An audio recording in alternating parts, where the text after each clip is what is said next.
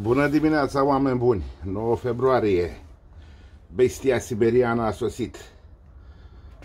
Până să răsară soarele, am avut un minus 8 grade.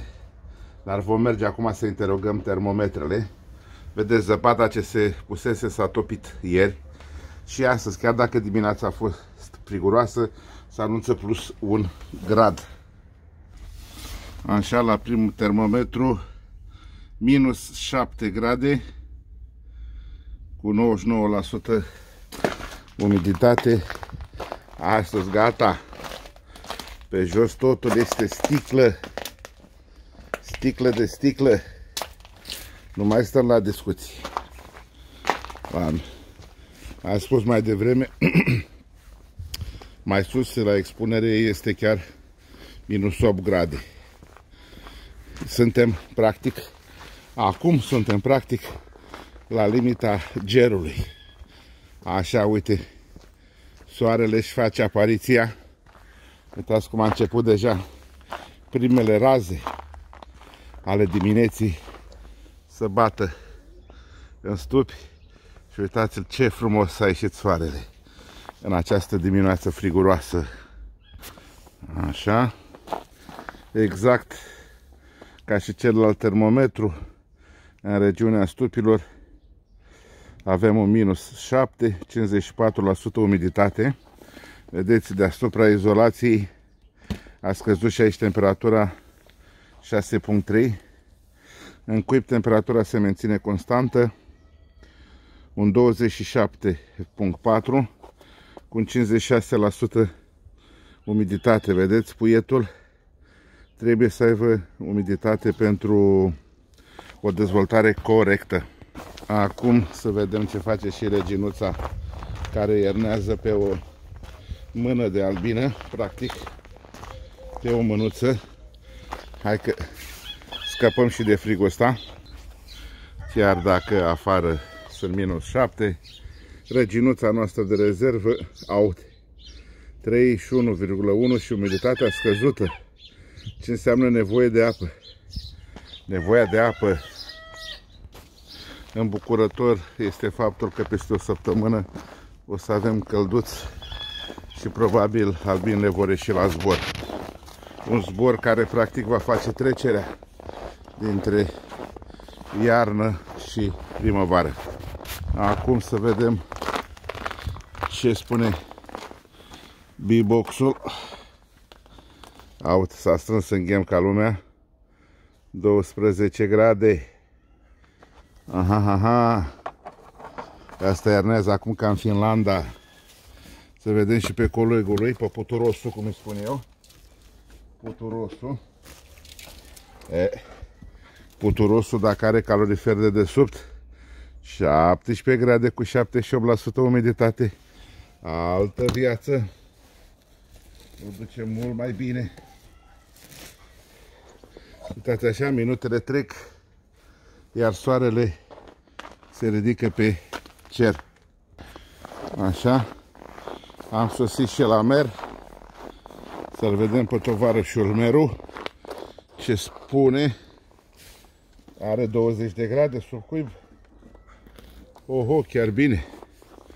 Chiar bine are sub cuib.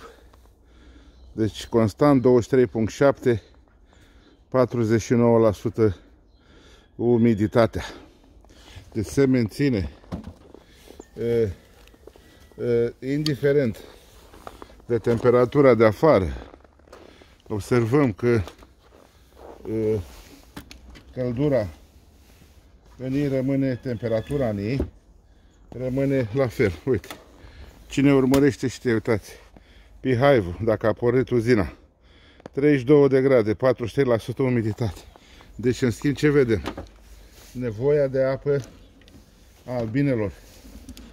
Scade umiditatea foarte mult. Foarte, foarte tare scade umiditatea deja în stup. Și la puiet ce trebuie să se dezvolte? Oare nu cumva elementul vieții primordial este apa? Așa? Asta verișoara care n-a început treaba. 31.6 Vedeți? Mult mai Asta e o regină care începe mai târziu oatul. Asta înseamnă să faci selecție, să le urmărești, să le urmărești permanent, zi de zi, pentru a avea informații precise și a ști exact uh, cum evoluează o colonie zi de zi pe perioada iernii. Uh, uh, pe la șapte, cred, Nea Ilie Comi mi-a trimis un film Cartea de la bordul mașinii La el sunt minus 17 Deci de la, hai să zic minus 8 la mine La el minus 17 grade la bordul mașinii. E bucuros omul că a băgat stupii la interior. A văzut inclusiv teoria conspirației. Erau unii deștepți rău de tot care spuneau că ne, alea sunt lăsgoale ce a băgat Ilie acolo în interior. Dați seama ce minte au. Uite, deja cât am stat noi să filmăm, soarele, uitați ce frumos a venit soarele aici pe, ia, așa, cred că am prins soarele și în spatele meu, perfect. Îmi place să fac aceste, aceste cadre, să trag aceste cadre cu soarele. Nu uitați, azi că filmez de joi, joi 9 februarie, de seară la orele 20-30 ne reîntâlnim în uh, live pentru a mai discuta așa ultimele lucruri care s-au mai întâmplat. Ah, au fugit vrăbile. Uitați, vrăbile știe că știu că în curând uh, o să dăm drumul la găini și o să dăm mâncărică și ele vin aici să se hrănească. Nimic nu este, nimic nu este întâmplător pe această lume. Deci, nu uitați, și vă mulțumesc că vă abonați în număr așa de mare la canal. Asta înseamnă că ce fac totuși e bine. Nu vă mai țin mult de vorbă.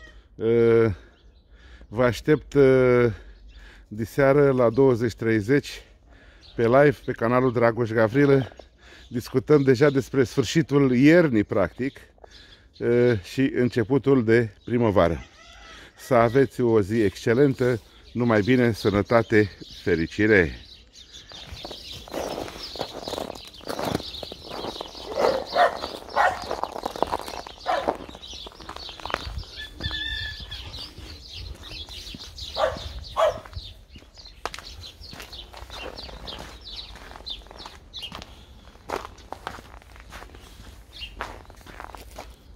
Ce găsi? Cine? zipar. Butsi, butsi, ó.